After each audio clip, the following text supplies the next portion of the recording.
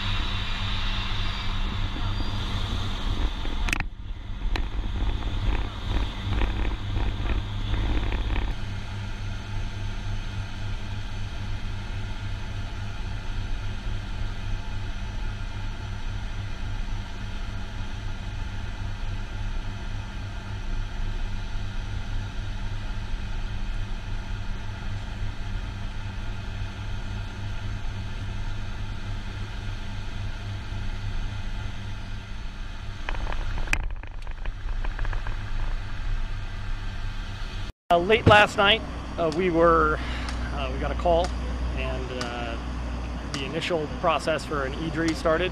We started uh, with an Everbridge alert sent out to all of our people. Uh, we started at 05 o'clock this morning, getting to the armory. Started loading up our vehicles and dispatching and rolling up here. The 870th Military Police Company brought approximately 60 people. We're looking to probably plus up to about 80 people as stragglers come in. Primarily in these, we operate uh, TCPs. We take the focus or the uh, manpower that locals would have to support the traffic control points. Uh, we take that mission away from them so that they can focus on helping out with uh, evacuations or uh, law enforcement tasks. The 870th Military Police Company is here mostly to operate traffic control points in and out around the area. The traffic control points will help alleviate criminal activity. They will help direct people away from dangerous areas and protect property. It's always uh, a, a personal reward to get out here and directly help the community. That is what most of us signed up for, to be able to help our local community. And it's always uh, nice to actually get out here and show what we can do and show that we're here to help.